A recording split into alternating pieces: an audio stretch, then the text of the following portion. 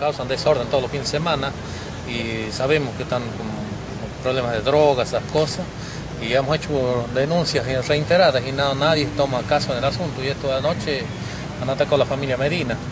La casa le rompieron una, moto, le rompieron el vidrio del auto.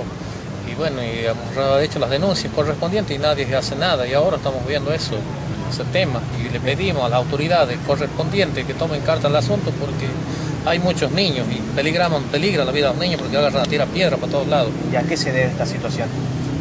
Y porque ellos agarran y cuando andan drogados ya tienen la bronca cualquiera. A ver, pasar tuvieron un problema con otro señor Araya también y son las mismas personas que hacen estos desmanes ahí.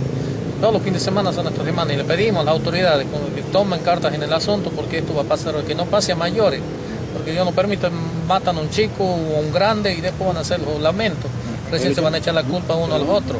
No, que ahora es el asunto, que tomen cartas ahora en este momento para que alguien haga algo y nos escuchen. Eso les pedimos a las autoridades que tienen las herramientas para trabajar en esto, que nos apoyen y nos vean en este, estos casos. Eh, ¿Es problema únicamente con esta familia o con el resto de la gente que vive en el lugar? No, tenemos, hay problemas con, siempre con el resto de la familia que viven, que viven en ese momento. Son varios chicos que han venido del, del recreo y no vienen a trabajar, sino vienen a hacer desmanes nomás a estos problemas que tenemos.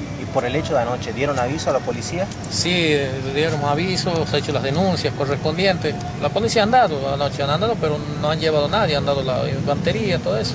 Y ellos andaban ahí como hacer nada, pero nadie, no, no, no los han detenido, nada.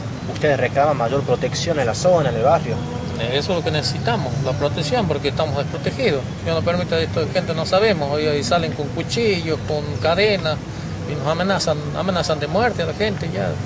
Por lo que comentaba recién, no es un hecho que suceda cada tanto, es habitual ya. Sí, no, esto es habitual ya, esto es habitual.